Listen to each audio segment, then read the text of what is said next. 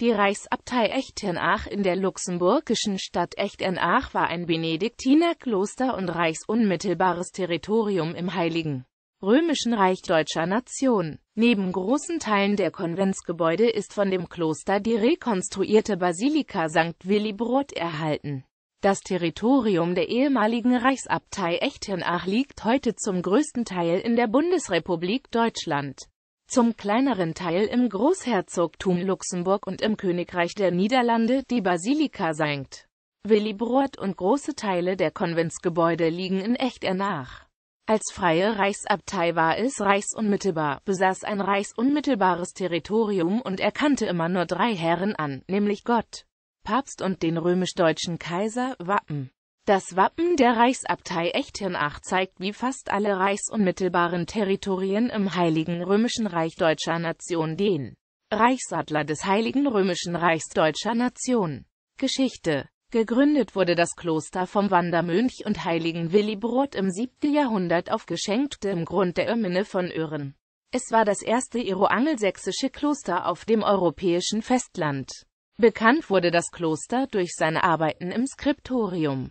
Die ersten Werke, wie etwa das Velibradus Evangelia, sind reich geschmückt nach der irischen Art der keltischen Kirche, in deren Tradition das Kloster Echternach stand. Im Jahre 751 wurde Echternach königliche Abtei der Karolinger. Während des Sachsenaufstandes von 782 verweilte der Bischof von Bremen, Willehard, zwei Jahre lang im Kloster. 785 bestätigte Karl der Große, der selbst das Kloster ein Jahr lang leitete, dem Kloster Echternach die von seinem Bruder Karl Manni gemachte Schenkung der Via Officinus an Elisa, worüber aber keine Urkunde ausgestellt worden war. Von 847 bis 973 leiteten Laienäbte das Kloster. Mit Abdravanger aus der Abtei St. Maximeng wurde die Benediktinerregel wieder eingeführt und das Kloster gelangte wieder zu neuer Blüte. Nachdem 1016 die Abteikirche abgebrannt war, wurde am 19. Oktober 1031 durch Erzbischof Poppo von Trier die neue Abteikirche geweiht. Sie war eine romanische Basilika, deren Maße etwa denen der heutigen Kirche entsprachen. Wilhelm, der 21. Bischof von Utrecht verlieh dem Abt von Echternach in einer Urkunde vom 28. Dezember 1063 Dekasekunden Verfügungsrecht über die Hälfte der Einnahmen etlicher Kirchen in Holland, unter anderem die von Leimriden sowie den benachbarten Siedlungen Wubrugge und Rheinseterhude. Im 11. Jahrhundert blühte das Skriptorium wieder auf. Es entstanden etwa der Codex Aureus Eptörnesensis, der Codex Aureus Escurialensis oder der Speyerer Evangelia. Der Abt Theophried war Autor mehrerer Heiligenviten und eines Werkes über das Wesen von Reliquien. Im Jahr 1148 bestätigte Papst Eugen III. dem Abt von Echternach den Besitz von Louisveld mit Samtkirche und allem Zubehör. Diese Bestätigung wurde 1161 vom Papst Viktor IV. erneuert. Der letzte Abt Emanuel Impach von Echternach starb 1793. Es kam zu keiner neuen Abtwahl. General Colau zog am 13. August 1794 mit den französischen Revolutionstruppen in Echternach ein. Die letzten Mönche des Klosters waren zuvor geflohen. Die Abtei wurde geplündert und Willibrods Grab wurde geschändet. Kloster und Klosterkirche wurden 1797 versteigert. Jean Henry Dondelinger, der sie schließlich erwarb, richtete in den Gebäuden die Feinsri Dondelinger ein. Um die Mitte des 19. Jahrhunderts stürzte der Chor der Basilika teilweise ein und sie drohte vollends zu verfallen. Daraufhin wurde 1862 in Echternach ein Kirchbauverein gegründet. 1868 war die Wiederherstellung der Abteikirche im Geist der Neuromanik vollendet und sie konnte neu geweiht werden. Seitdem ist sie Pfarrkirche von Echternach, seit 1939 im Rang einer päpstlichen Basilika Minor. Im Zweiten Weltkrieg wurden Teile der Kirche gesprengt. Granateinschläge zerstörten, was stehen geblieben war.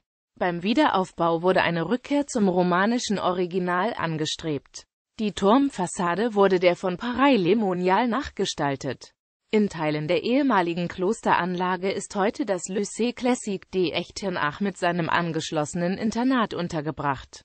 Äbte Willi Brot, Adalbert, zweiter Abt Beonrad, dritter Abt, Erzbischof von Sens. Hertie, Erzbischof von Trier. Regina, Leinabt. Adeilhati, Leinabt. Karlmann, Sohn von Kaiser Karl dem Kahlen. Adeilhard II, Leinabt. Hermanni, von Schwaben, Leinabt. Siegfried I. von Luxemburg, Leinabt. Ravanger, Humbert, Reginbert, Theofried, Godefredus, Ludwig Abt von St. Matthias, Heinrich von Schönecken, Theoderich von Aare, Johann von Winningen, 40. Abt Johann de Neuwill ist gleich Jean de Neuwill, 41. Abt Wilhelm von Kerpen, 42. Abt Erdwin von Waldeck, 43. Abt Philipp von Homburg, Peter von Gymnich, 47. Abt Nikolaus von Gymnich, 48. Abt Pierre de Hubines ist gleich Peter von Hübingen, 49. Abt Winnen von Gluwil ist gleich Wienand de Gluwil, 50. Abt Colinus ist gleich Kullenblick von Euerwick, 51.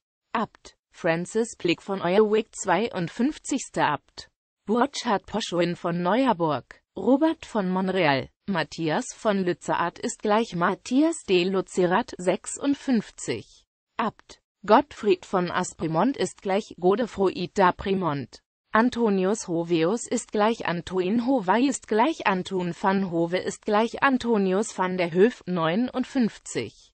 Abt Martin Maas ist gleich Martin Mees A. Meerbeek ist gleich Martinus Masius 60.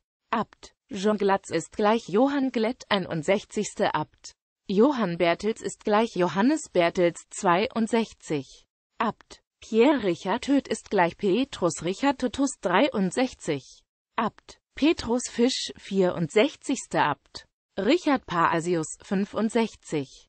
Abt. Philippe de la Neuforge 66. Abt. Willy Brothotten 67. Abt. Benedikt Sender ist gleich Benoit Sender 68. Abt Matthias Hatz 69. Abt. Gregorius Schoope 70. Abt. Michael Hormann 71. Abt. Emanuel Impach 72. Abt Prior Binsfeld, Klosterbibliothek und Skriptorium. Im Mittelalter war Echternach ein Zentrum der Buchmalerei. Zu den bekanntesten Werken zählen das Goldene Evangeliar von Echternach und das Goldene Evangelienbuch Heinrichs III. Das Skriptorium der Benediktinerabtei ist vor allem bekannt durch die Schriften die Mitte des 11. Jahrhunderts für den Export produziert worden sind. Ein neu herausgegebener Katalog umfasst hingegen theologische, philosophische und pädagogische Handschriften aus der Klosterbibliothek, welche nur zum Teil in Echternach selbst entstanden sind. Auf fast 800 Seiten werden 89 Handschriften, 154 Fragmente und 18 gedruckte Bücher aus dem 7. bis dem 17. Jahrhundert beschrieben.